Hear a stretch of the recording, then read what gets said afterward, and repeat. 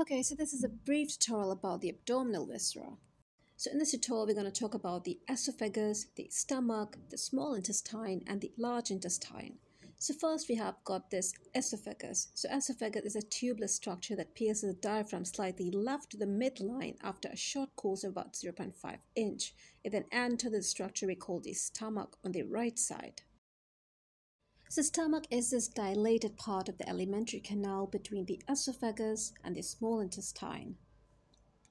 So this organ occupies left upper quadrant of the epigastric and the umbilical region. Much of it lies under the cover of the ribs. Its long axis passes downwards and forward to the right and then backward and slightly upward of the stomach.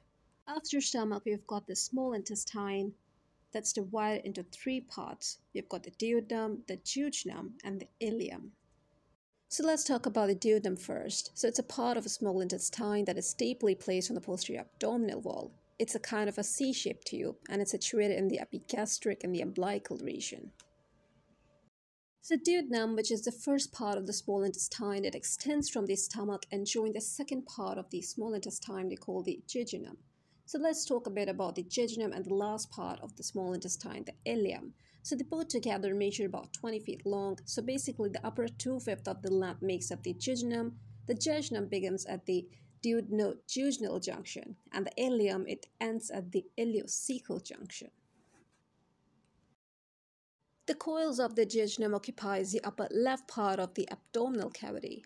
And if we talk about the ileum, so it tends to occupy the lower right part of the abdominal cavity as well as the pelvic cavity.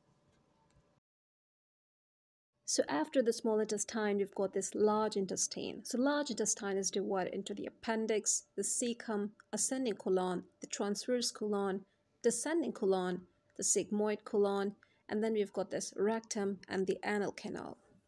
So let's talk about these structures in detail. So first we've got the cecum. The cecum is a blind-ended sac which projects downwards in the right iliac region below the ileocecal junction. Just after cecum, we've got this warm shaped tube which arises from its medial side, the appendix.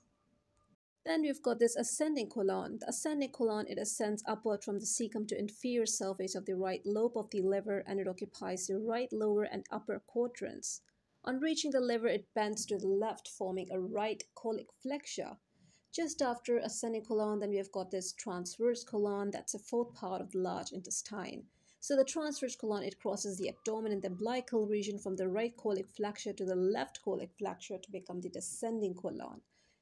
And the descending colon then descends from the left colic flexure to the pelvis below and it occupies the left upper and lower quadrant. After the descending colon, we've got the sigmoid colon, that's the most distal part of the large intestine. So it begins at the pelvic inlet where it's continuation of the descending colon. It hangs into the pelvic cavity in form of a loop and then it joins the rectum in front of the sacrum. So rectum is the last part of the large intestine which occupies the posterior part of the pelvic cavity. It then continues above the sigmoid colon and descends in front of the sacrum to leave the pelvis by the piercing the pelvic floor and then becomes continuous with the anal canal in the perineum.